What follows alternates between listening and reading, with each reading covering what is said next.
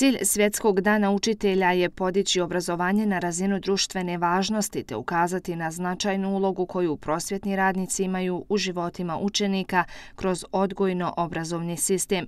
Kvalitetan i zdrav odnos između nastavnika, učenika i roditelja temelj je odgojno-obrazovnog procesa jer put znanja iziskuje timski rad, naglasila je učiteljica Elvira Dulaš koja u prosvjeti radi skoro dvije decenije. Nastavnikova uloga nije samo da daje informacije djetetu, nastavnikova je uloga da oblikuje karakter djeteta, kako da bude spreman u budućnosti, da živi u jednom slobodnom, iskrenom i okruženom uh, svijetu punom ljubavi.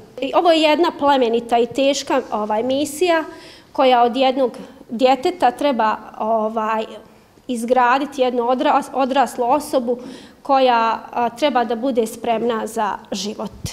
Učitelji se danas kroz obrazovni sistem susreću sa određenim izazovima koje uz pomoć svoje profesionalnosti i predanog rada nastoje prevazići.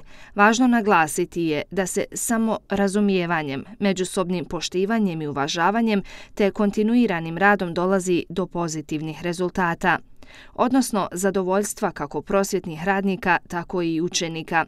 Unapređenje obrazovnog sistema je ono na čemu se značajnije mora raditi u budućnosti, naglašava Dulaš. Što se tiče izazova, mislim da je ovaj e, izazov mada to već duži, već duži period se radi u kombinovanim odjeljenjima i mislim da više to nije izazov za nastavnike, više je neka šteta za djecu što se mene tiče. Ovaj, I sama opremljenost ovaj, škole, nastavnici ti koji moraju ovaj, ulagati pojedina sredstva da bi mogli ovaj, odraditi kvalitetan posao. Što se tiče rada u nastavi i nastavnika, nekad i sad ja smatram da je to isto i da je jedan cilj da naučimo dijete, a da dobijemo povratnu informaciju, jer je ono što mi postignemo na jednom času najveć, najveće zadovoljstvo za svakog nastavnika. Bilo da je to u 21. vijeku, 20. 19. nije bitno. Škola kao odgojna i obrazovna ustanova za ciljima oblikovati i pripremiti svakog pojedinca za život i ono što ga čeka u budućnosti.